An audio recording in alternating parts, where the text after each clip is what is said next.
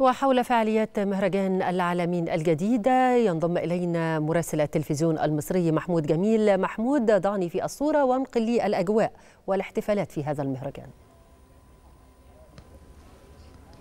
نعم بعد التحية يعني الحقيقة أجواء كلها مبهجة وأجواء مليئة بالفرحة والحماس لدى الزائرين المتواجدين هنا في مدينة العالمين الجديدة والتي نتابع معهم دائما على مدار الوقت يعني مدى اهتمامهم وحرصهم على حضور فعاليات مهرجان العالمين الجديدة. هذا المهرجان الذي يعني نقل مدينة العالمين نقلة نوعية سياحية كبيرة من خلال الفعاليات الترفيهية والفنية والرياضية التي تقدمها إدارة المهرجان لما يقرب من مليون زائر خلال فعاليات المهرجان التي ستستمر حتى السادس والعشرين من أغسطس القادم. هذا الممشى السياحي الآن وهو واحد واحدة من من المناطق التي ستشهد عدد كبير من الفعاليات. ومن خلف المكان التي الذي يتم تجهيزه الآن لاستقبال حفل الفنان تامر حسني في الحادي والعشرين من يوليو الجاري الجاري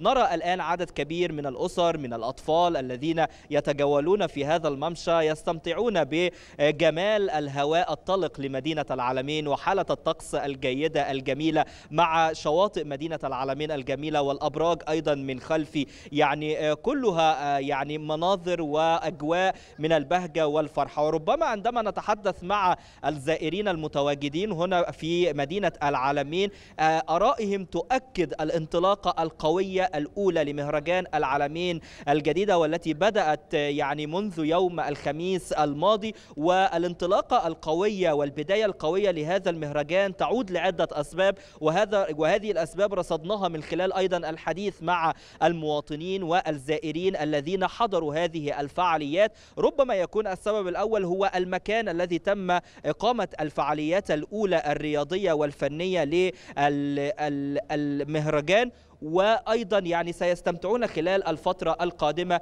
بالمزيد من الفعاليات الرياضية والفنية وسنتابعها معكم بالتفصيل. أشكرك جزيل الشكر محمود جميل مراسل التلفزيون المصري من العالم عالمين.